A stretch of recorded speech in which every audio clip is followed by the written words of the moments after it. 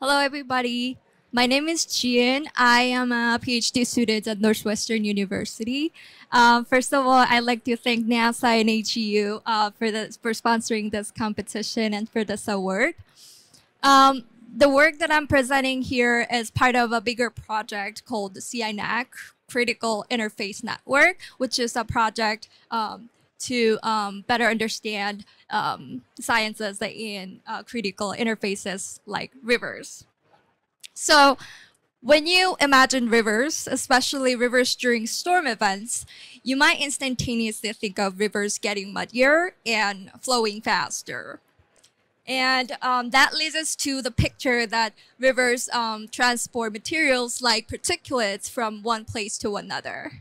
And now I want you to um, rewind a little bit and think about where the particulates come from. So um, there are uh, po many possible sources. For example, algae growing in the channel, or um, agricultural soils like cornfields, and um, bank vegetations or bank soils, or deeper soils, or um, insects, and many more.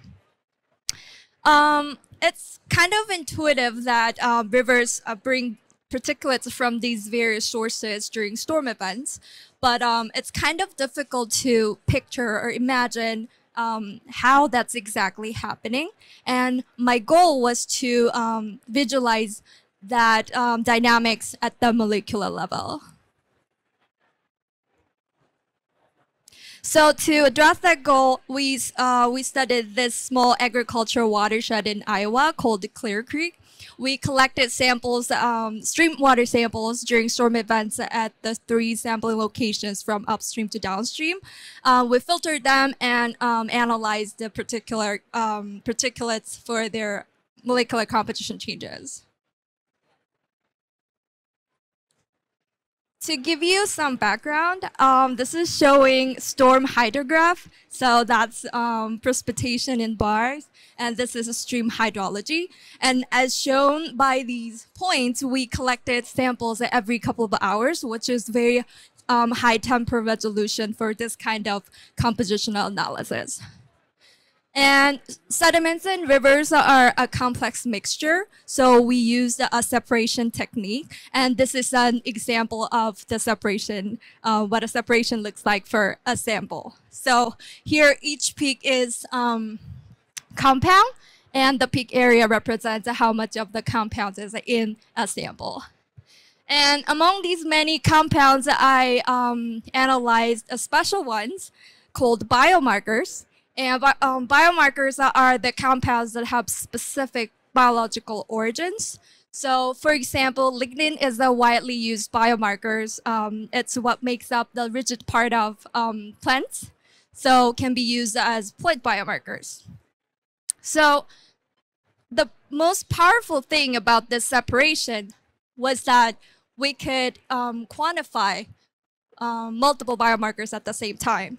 So with the high temporal resolution sampling and multi-biomarker analysis, um, I was able to get this big data set that um, has hundreds of samples multiplied by more than 30 biomarkers. And this is only a small set of my data.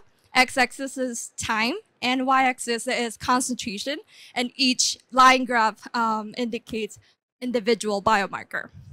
And here what I wanted to see was um, how individual biomarker concentration changes over time and also the relationships between biomarkers. For example, if this one goes up, is, are there any other compounds going up too? Something like that. But um, unfortunately, as you can see, this was very messy. Um, I couldn't even tell if there's any pattern or not. And that, uh, that was where my visualization comes into play.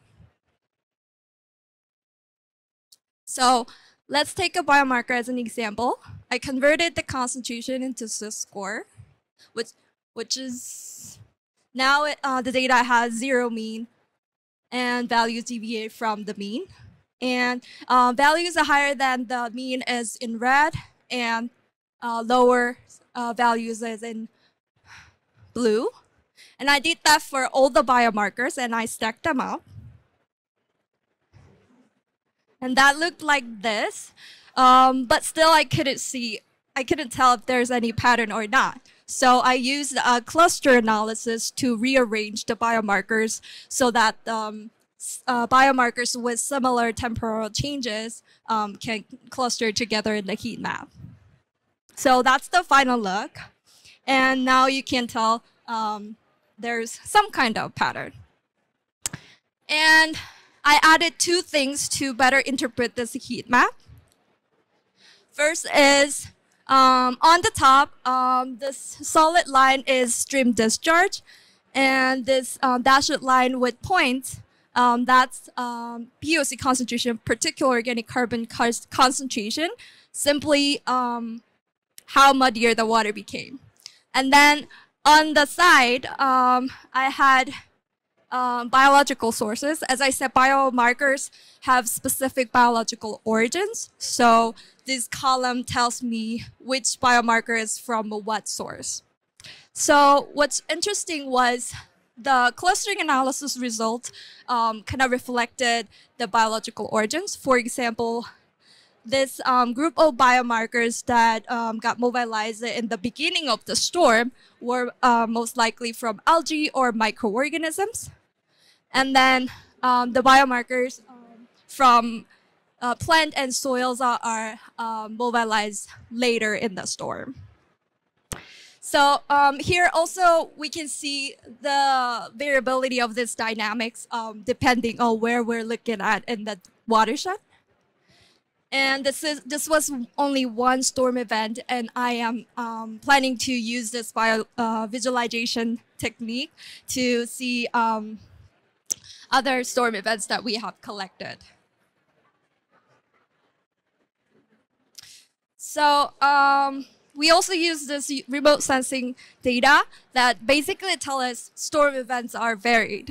So I'm not going to go uh, too much in details, but basically it says storm events are varied and um, each storm event has a unique combination of various controlling factors. So I'm going to use my uh, visualization technique to see um, if these variations that's, um, that's shown here are also present at the molecular level. Uh, finally, I'd like to thank all the collaborators in this project, and especially uh, the lead PI of um, the project, Dr. Praveen Kumar, and my PhD advisor, Dr. Neil Blair. Thank you so much for your attention.